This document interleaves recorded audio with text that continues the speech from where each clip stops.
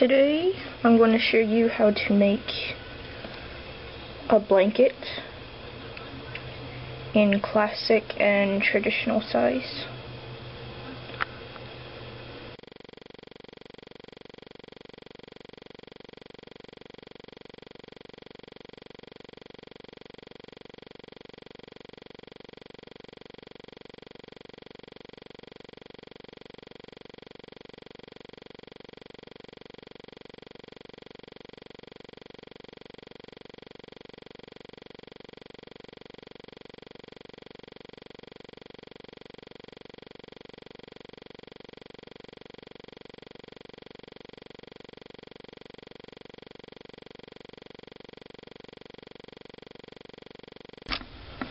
Now you're going to trace either the traditional size or the classic size template on fabric that you want or that you like. When you have this all the way traced around, you can cut it out and start putting a frame around it. This is what it should look like when it's done being traced. Now these marks are for placement of the ribbon to make to make it look like this. Now this is the underside, so don't worry about the markings.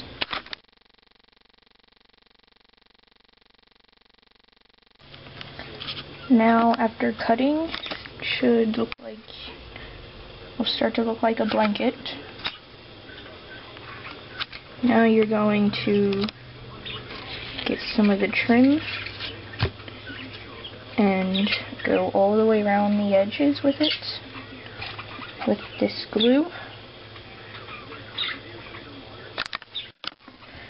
Now we're going to add the glue to the trim, just a little bit like that, and get a toothpick or popsicle stick,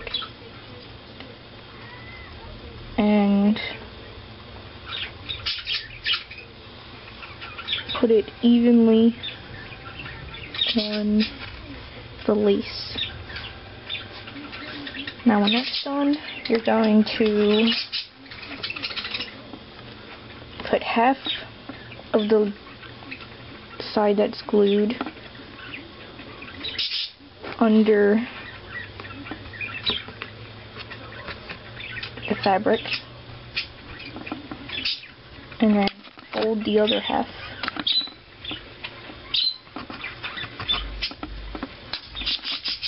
Kind of hard with one hand.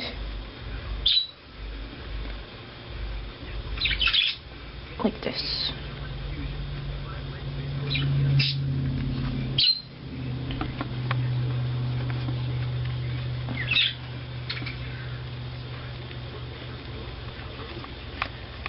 Now when you have it all the way around, you're going to overlap it a little bit when you get over here and then cut it off. And then you're going to start on the lines that go diagonally and in the middle.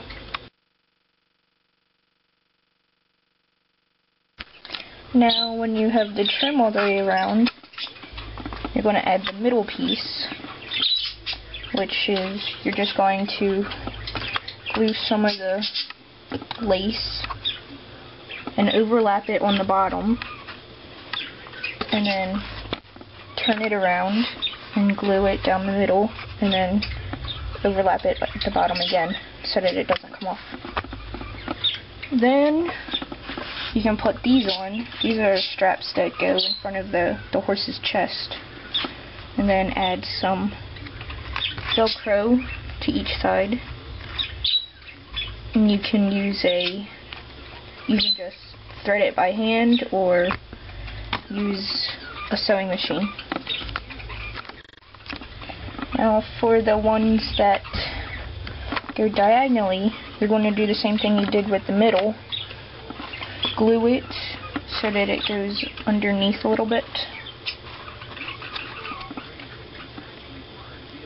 And use the marks that you did with the template and make them go like that. Now you're going to do that to this side and cut this make it go underneath and then for this side you want to do the same thing but not cut it and make it go underneath because you need the little extra parts that go under the stomach. For the other side you're going to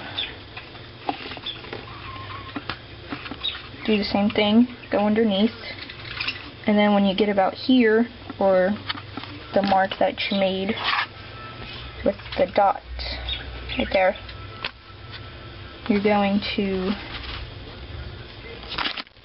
um, make it go like this. You're going to fold it like that and then do that for the other side. Start at this end and then fold it.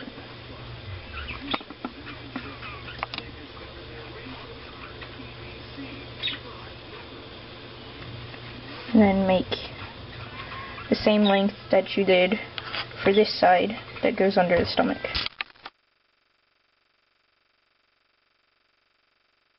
Now when you did all of the trimming, it should look like this. This is the part that goes under the stomach and over the chest. You should let it dry before it goes on the horse because it could stick and might like fall apart a little but it's very durable when it dries.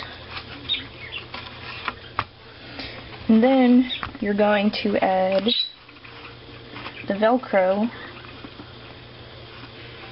For this side, you're going to put the the soft Velcro because it could scratch up the bottom of the horse.